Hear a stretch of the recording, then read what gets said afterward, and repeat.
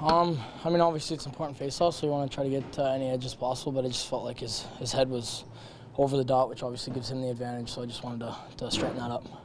And did you? Did it get to the? Yeah, yeah, we ended up figuring it out. I mean, it took a couple seconds, but uh, I mean, a face-off of that magnitude, um, you know, it's got to be perfect. What was the intensity like going up against a team that is, Mhm. you know, battling for its lives in the playoffs? Um, yeah, it was certainly uh, pretty intense. Um, you know, they uh, they looked like they wanted it. They had a good first period and um, scored a couple goals, and we were kind of chasing uh, the game for a little bit. But I felt like we took over towards the end and um, came up a little short. The uh, you and had a bit of a Mhm. cross-checking battle.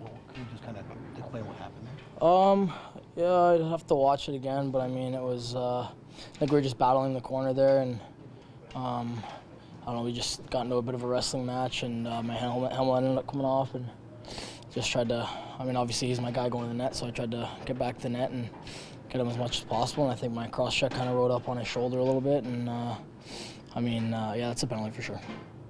Uh, PA described it as a bit of a clog fest, maybe a re- a result of you know, Babcock system versus kind of the remnants of that in Detroit. How did you see Mm.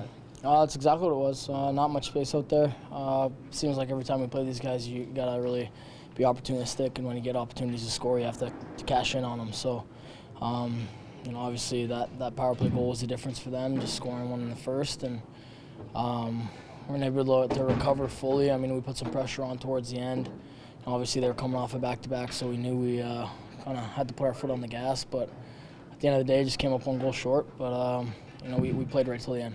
Power play, Mike says that maybe some you know prefer the flank a bit. He wants you more in the middle. Has that been a bit of an adjustment for you this season? Uh, it has, but I think uh, I can get used to it. I mean, obviously, I'm a player that likes to control the puck, and, and you know, on the half wall, you certainly get to do so, um, and you get a little more time with it. But I mean, um, you know, a lot of a lot of goals coming to the middle of the ice, and, and that middle man seems to, to be scoring a majority of the time, and that's you know where uh, probably 85, 90 percent of the goals are being scored on the power play. So.